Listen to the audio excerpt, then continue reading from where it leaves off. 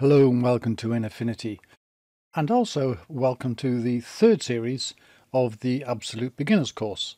Although by now if you followed the previous two series, each of 30 episodes, then you'll probably be something more than a beginner. Nevertheless, what I'm going to do is, is continuing with the principle of going steadily and slowly and explaining things in a bit more detail. So, and also what I'm doing this series is, as much as possible, is doing the pictures, so editing pictures that you have sent in. So this one is from viewer Jeff and it is an old photograph and it's got all kinds of problems on it. It's a family group here, I presume it's a family uh, with three generations and it's uh, probably been, with all these folds in it, has been lovingly carried around in pockets and purses and handed around and so on. If we go into the detail here, if we zoom into this, you start to see even more. Look at the cracks here and so on, where the glaze on the, the thing has gone. There's little scratches and all sorts. And if you're going to edit this, one of the first things you do with it is to go to 100%. Because if I go zoom outwards, just control and rolling the mouse wheel, those details start to disappear. But if I hit Control and number one, I go to 100%. And now I can see all the details and all the scratches and all these little things which we're going to have to address. So the way that we do that is the classic way of the retoucher is, is two things. One is you put on a add pixel layer down here or you can always go to layer and new pixel layer up here and so that gives you an empty pixel layer. If you turn off the bottom layer it's completely transparent. The checkerboard shows that there's it's like it's onto empty space and then I'm going to paint onto here to cover up all of these marks and because I'm painting on a separate layer that means I can go back later on and change all that. I can just wipe off bits and add more bits and so on. And this is called non-destructive approach. So literally the way to do that, simple way, is you go down here, right click on there, you can see there's a bunch of healing tools and the one you want here is the in painting brush tool. Then what we want to do here, if I paint on here with this, then it's going to think about it and it's going to try and fix it. And it will fix it if I've got here it says current layer, then current layer and below, make sure you've got current layer and below because it won't fix it otherwise. It's just trying to look at the pixel layer, but it wants to look at the layer beneath as well. So here we go then. So I can literally paint on the edge here, but there's a thing here with the brush size. Look where I painted here. And you can see that down below I've got exactly the same pattern because it's basically copied from below up here. So now I've just sort of like duplicated that and I've got to get rid of that as well. So by and large, you want to have the smallest brush possible. And if here you've got a lot of dots, you want to make the brush as small as possible that. So it's going to be around the size that's just going to cover a dot. And with this, you can go small and small until you're covering it. So around about 15 here. So if I roll the mouse wheel over here, it'll go down to the next whole number, which is 15 pixels, which seems pretty small. But I'm literally going to click on these. I can draw straight lines with it to get rid of lines like this. Where the areas like that, I can sort of like scribble over it because then it's to see it's not even copied these dots down here. I can just click on those. Where you've got long lines, a good thing to do is click on one end, then hold down the shift key and click on the other end. And then you go, it does the whole line at once. If it's curved like that, click one point, shift click along there and just hold down the shift key and click along the line to get rid of it. I would do whole sections like this at a time. So I'd do this whole section and then I would move it across and do the next whole section and so on. And just go that in strips all the way down. And you need to be particularly careful with things like faces and things like that because that's where you look. If you look at a picture with people in, you're going to look at their faces and particularly their eyes. So there's a bit that you can see the detail in this. Of course, it's from an old picture, so it's uh, it's not all going to be super sharp. We've got big things like this. You can go over this a bit at a time, like this, and you know it's the the best way is to use the smallest brush possible. You can also right square bracket to make this a bit bigger, paint down over this, and it will do it that at large sections, but it may well then copy into here things from elsewhere. So you then got to go back down to the small brush, but just type 1 5 for 15 to get back to our small brush and tidy up within that area again. And so it just needs the patience of going over and over and over. The whole picture doing that will take uh, quite a few hours. How do I know? It's because I did it. And so uh, here is one where I put an extra layer, I just called it dots. And now if you zoom into this, in fact go control 1 to 100%, you can see here that very largely those lines have disappeared. I can go to that dots point again, I can go to the in painting brush here I'll keep that down to 15 again. If there's any extra ones here, I can always paint in there. So you have a look over it and dot and so on and just keep on going until you're happy with the result.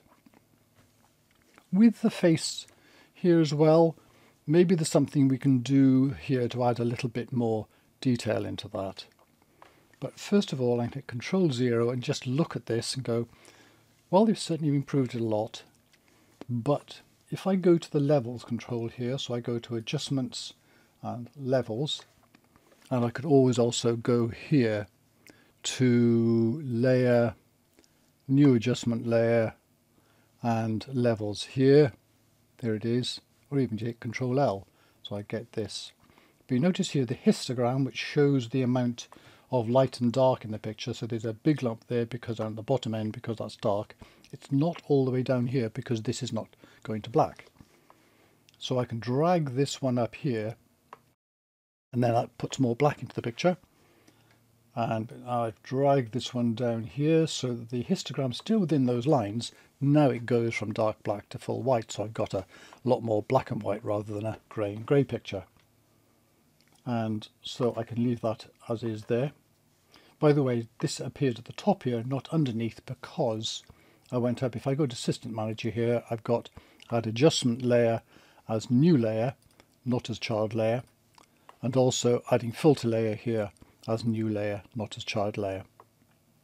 So you'd need to do that beforehand if you want it to appear one above the other, which sometimes I, I tend to prefer. What else can we do here?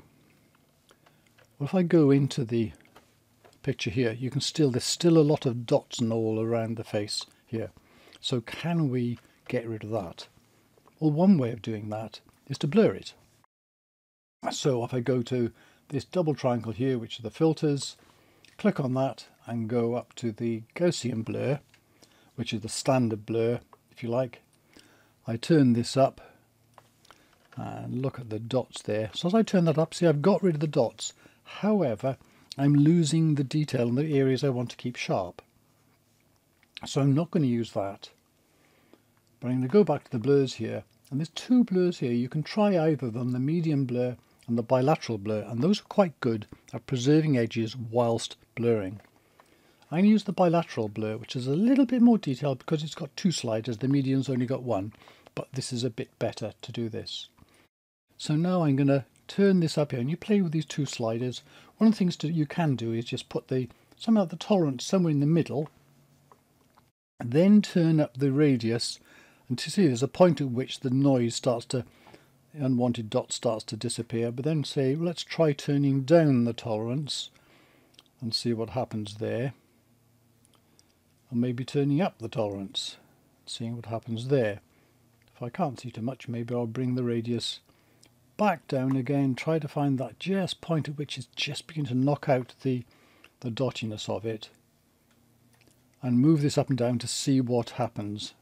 Even try more extreme values, see the dots are coming back in a bit there, so I need to turn that up a bit so I lose those dots. So now I'll bring that back down again. It's literally play with it until you're happy with it. though if you printed it, you'd be unlikely to see that amount of detail. Or if you resized it, because if I go to document and resize here, you can see it's really big. This is 5,448 pixels that way and over 7,000 down here. This is because the original picture was put through a scanner and the scanner was very high resolution, more really than the you could start with there. When you do that, you, what you can also do, if you want to, is go to Document and resize and change the size down to something. I did try it and it didn't make, wasn't that helpful in this case. But there we go. So there is our picture here. We could also try adding sharpening, but I think it would just start to make this worse because you're still getting dottiness and things over here.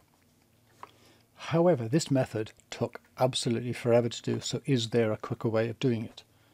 Well, a way that we could do that is if I get rid of these, it, but the, you know, it's the idea of using that blur. Can we do that from the, the beginning? So we'll do a quick experiment to see if that will work. So I go to the filters again here, and I go up and I'll start there with a bilateral blur. And I'll turn this up here a bit, something like this, and play with the tolerance here so that when I zoom into this, what I can say I'm losing the dots. so If I turn this on and off, see beforehand lots of dots, turn that on, I'm losing the dots but I'm not losing the detail. So I can get up to a certain point there that I'm happy, but I've still got some big dots here. And this is where an extra blur can come in. So I go to the live filters and the median blur. So it's the bilateral blur does the basic stuff, gets rid of most dots. Now what happens if I push up the radius here, but I don't have to go too far. Hopefully. There we go. Do you see suddenly happened there? The, the dots disappear, but also I lost detail. So I want to go to just the point where those dots are disappearing. And I've got this here. It, it does affect this a bit more, but I, I am getting rid of the dots. It's not going to be good as the first method, but it's not going to be a lot quicker. So now if I control zero to look out here, I've still got these because I did it so far to get to take out those. So now I need to put in that pixel layer, go to the in-painting brush, resize that to whatever I want it to be, and paint over this, making sure, of course, the current layer and below is done. With this often it's better to do it in small pieces and make sure that the brush just about covers what you want to do and then do that a bit at a time. And that's a quicker way of doing it, not as great result but surprisingly good. Okay, well that's it for now and thank you very much for watching.